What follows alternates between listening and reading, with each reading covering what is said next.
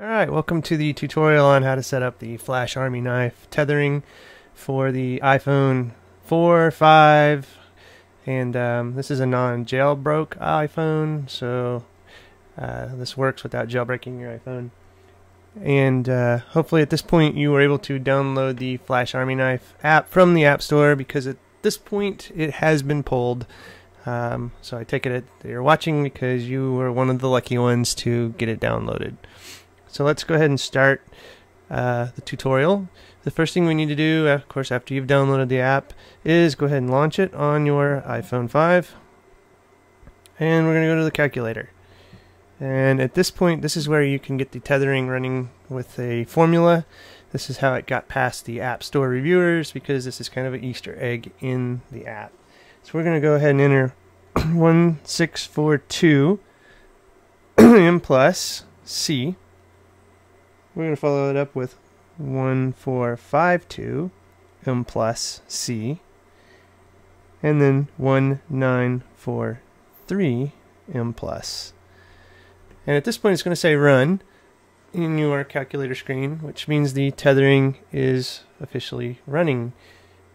Uh, at this point, you can go ahead and minimize the calculator or the Flash Army Knife app on the iPhone.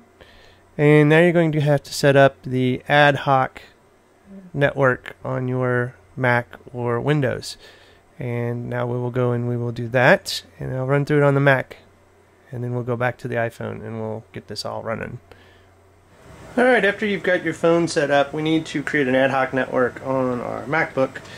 And what we do here, and it will be the same on a PC, but this will be a MacBook Pro demonstration here. So we're going to go up to our network our Wi-Fi icon and we're going to click it and we're going to say create a network. And it's just going to come up with uh, the name. We're good with whatever. We'll just call this my MacBook Pro. We can leave it on channel 11 and we can also leave it on security none as security will will not be required for your tethering process here. So let's just click create. And it is creating that network and sorry, I have to go to a cam because when I started messing with the networks, uh, my reflector app that reflects my iPhone screen to my MacBook won't work because it's not on the network anymore. So, um, got to go to the old school way here. So hopefully this is good. But in the meantime, I'm just going to bring up preferences down here and networking. But I'm going to click on Wi-Fi, and this is the one we created was my MacBook Pro Wi-Fi. But now we need to go back to the iPhone. And what we're going to do on the iPhone, let me get my iPhone in the screen here, is we're going to join that ad hoc network. So we're going to click on our settings and as it waits for the looking for the SID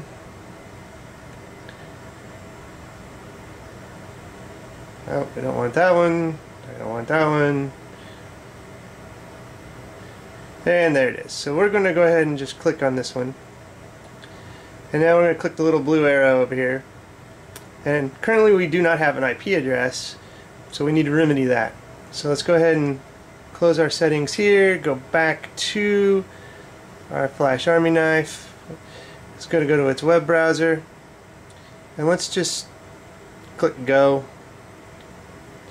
And that's going to refresh.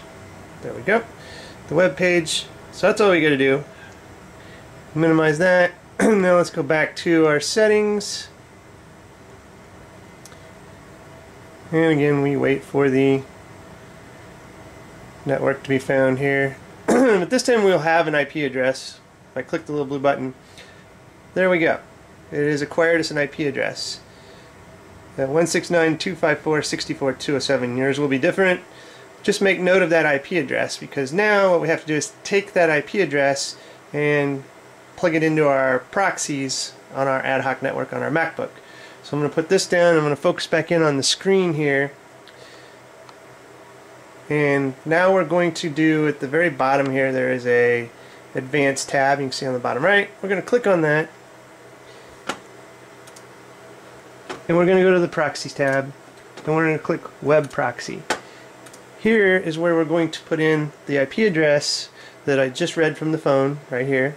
the 169.254.64.207. We're going to plug that in here. 169.254 64207 and the port is 6667 then we're going to go down a little further and want to click on the SOCKS proxy and we're going to do the same thing here. We're going to enter the IP address of 169 254 64 207 and the port on this one is 6668 and we're going to click OK and we're going to click apply. And we're going to go ahead and close this.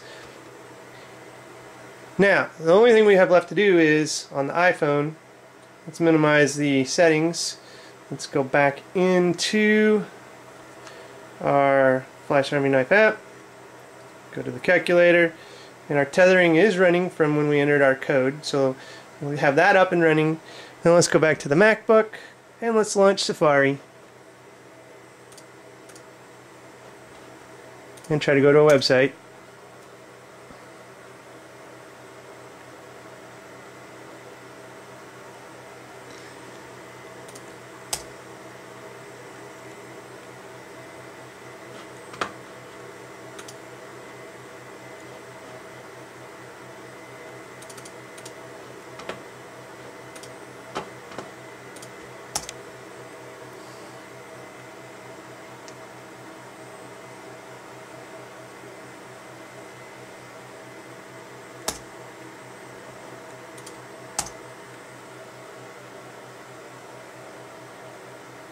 And if you get it to where it doesn't work this time, just enter the codes again. 1, 6, 4, 2, M plus C.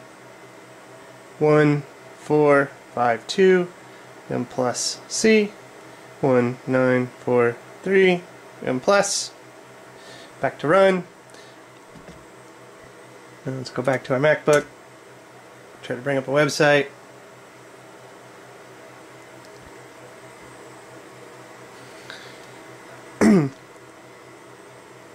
Get to do a little troubleshooting. Make sure we're still attached and have an IP address.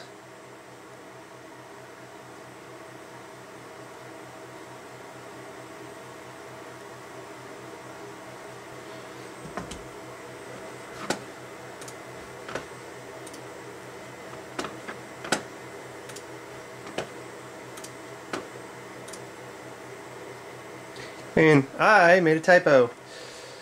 That is why it's not working. Put in an extra number, 1692545. No. Get rid of this 5. So it says 16925464207. We're good on all that. We'll hit OK. Apply. Go back to the phone. Relaunch our tethering. See it's running. Go back to the MacBook bring up a website.